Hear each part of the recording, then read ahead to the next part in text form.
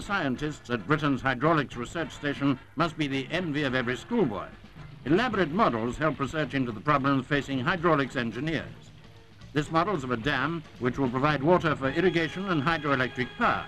It's used to test the efficiency of the system and problems which might arise during construction.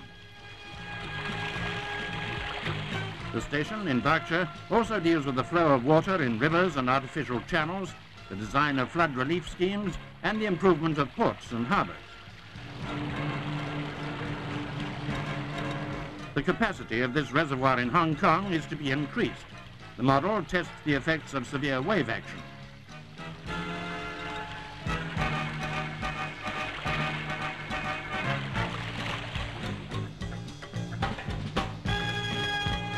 These researchers have many international projects on hand, but one important British scheme has particular significance. Tilbury is now one of our leading container ports, and this experiment will lead to new and improved designs for berthing the giant container ships.